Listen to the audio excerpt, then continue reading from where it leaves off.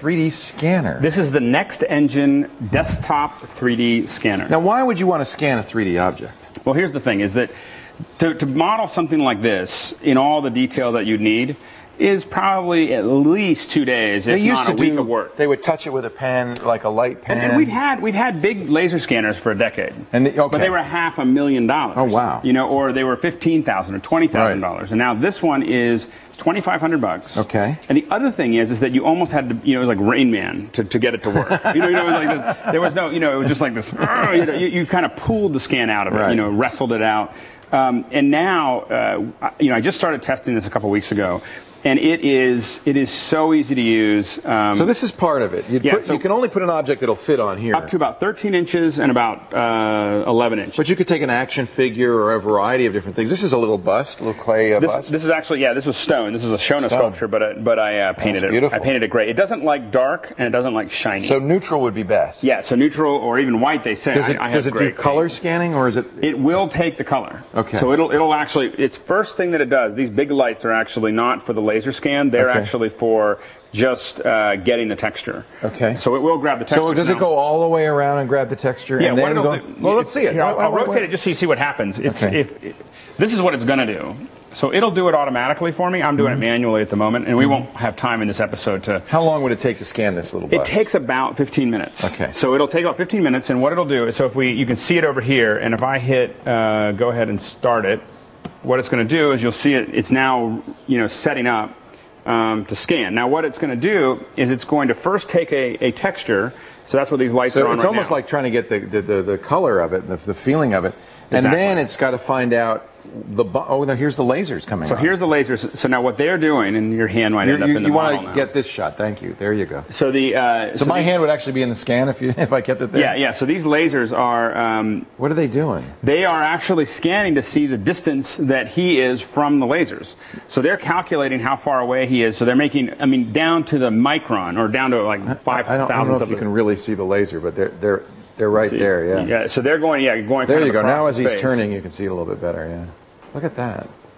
And so, so what they're doing is they're So it's bouncing gonna back into it's that. bouncing back in just as a regular scanner would work. It's bouncing back into the. Right. Oh, that's cool. So it's it's getting that information now. Now here's what it generated. Now you did this before. Of I did this before. While This we were at lunch, you said nobody can come into the studio. I am scanning.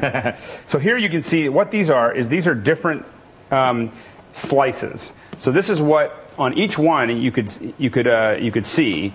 Why does it do slices instead of just the whole thing? Well, because it can only see from one direction. Wherever the it- you know this is three dimensions. Oh, so it's not rotating it and it, scanning it. It scans it, rotates it, scans another I slice. see. So it I grabs see. all those slices. Now and then it'll assemble them. so once it's assembled, let's see if I can uh, pop up here.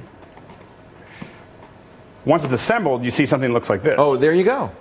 And it, it, it cut the top part, but that's easy. We can cut that off. Yeah, yeah, there's there's actually there's a ton of tools that are built in that are that allow it to, and all we had to do That's is neat. identify. We had, That's I- I- kind of amazing. it's it is it's really amazing. I mean, now is is this a vertex? Is it? Yeah, uh, these are these are polygons and vertices. Now there's there's a there's a pro set of software that'll actually convert it to super high quality what we call spline models. Um, but this is uh, but these are polygons. But all They'll the information's in there now. It's all there. Now what we did, uh, what I did with this one is there's a couple things you have to do, which I'm not going to do right here, which is you lay him down on his head and you scan the top, and you lay it down on the bottom and you scan the bottom. so that you can then replace the missing pieces. all the miss because it'll be missing a little, and it takes nothing because once you've calibrated it once, as long as these pieces don't move, it'll Okay. automatically know where it, where it belongs. Ah, you just identify three individual points that are on both models, and it'll go. It'll Oh, just neat. pop right in. Okay, cool. So now let me show you. Let me turn this. We're going to switch over to the uh, laptop here. So that's that was in the and this is a Windows or Mac program. It's a Windows application only Windows right now. okay. Um, I have to say that the software, I just have to give them props because software in high-end tools like this or have typically been really hard to use, and the software is super easy. We're like, looking now at the Mac version, but before we were talking about the Windows Right. version. So you've imported this now into what? Is This that is? Modo. Oh, Mo- what is Modo? Modo is a 3D package um, that we use for Look at modeling. the detail on that. Yeah, and you can Did see you that put the highlights, uh, the, the light on that, or there's a light in Modo that, that's doing that. so that's where we're getting the but you're seeing that there's really there's Look the at geometry. detail. Wow. And this is this is only this is one eighth the geometry that, that, that it can do. It's just that it would get really That's heavy. the lower resolution. This is a low resolution scan. Wow. And uh, and so this is what you end up with, and you can see that once I scan the top, It looks just just blends right in. Explain why I'd want to do this. Okay, so there's a, this is actually something we used we use in production a lot, which is that If you want to get a TIE fighter in a Star Wars movie, 'Cause you- you will work- take a model, you scan it in, Right. and then it's a part of well, your movie. you don't use that model, but you use it as what we would call a 3D template. Okay. So we can draw using it as the model. We can snap. So we it's can a draw. starting point. It's a starting point, way better than photos. right. You know, because it really gives us something we can work with to make sure it's really, really accurate. Right. The other reason you might use it, if it's off in the distance, yeah, we'll never model that. We'll just Right. scan it, throw it back there. Right. Um, if you are doing uh, in, But if you want a visual camera effects, to move around something, it has to be three dimensional, or there's no back. What I'm saying is, we, if, if, if, if it's going to be off in the distance, that's what I'm saying. yeah, and if it's it- close up, that's when you need to use 3D. Well, even if it's off in the distance and you're going to go around it, Oh, maybe you just scan right. a little Sure. bit. Little bit. Another reason that you might uh, might use it is for quick educational things. So for some of our podcasting, we're actually like if we're talking about a, a piece of equipment. Uh-huh. Oh, yeah, uh, we just it throw in it, like, throw a camera in there, throw whatever. 15 we want. minutes, what the heck? 15 minutes. Now you have a little model. You can have it spin around and show how. oh my golly, this is going to change everything. At 2,500 bucks, it changes everything. Wow. You know, because it's just really, really easy. I'll show you this. Uh, And that comes this- with the software, the Windows program. um, the, uh, the the software that does the scanning comes with the scanner, and it works great.